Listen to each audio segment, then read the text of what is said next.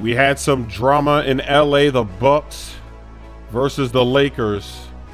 When you're having a losing season, I guess you got to get into a fight. You got to complain. You got to you got to do something cuz you can't take the L's. We'll get to that fight later. The Bucks putting in work, going up big, adding to the frustration. What a move from the Greek freak. And here is the drama.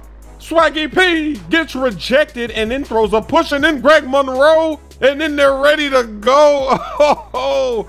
And somehow D'Angelo Russell gets ejected from this game. He gets thrown out with Nick Young and Greg Monroe. And honestly, when you see the replay, Nick Young just got blocked. Why did he shove? See, the rookie put his hands up. He's smart. He's not getting thrown out of this game. He's going to stay in the game and he's going to continue to get stats, continue to help his team win. I don't know what got into Nick Young. I don't know what happened there, but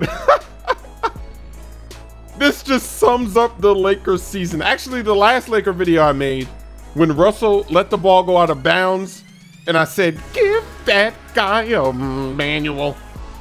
But here comes some rage. They're going to relieve Brandon Ingram driving on the Greek Freak baseline, finishing with the slam. Lakers have time to get back in this game. Clarkson making it splash. Less than five minutes to go. Under three minutes. It's the rookie. See, he's still in the game. And the Bucks win this game. DeMarcus Cousins sat out this game with a sore knee. And so far, this experiment has not really been working, but it might be a coaching issue because it doesn't look like he knows how to use these two players on the court at the same time.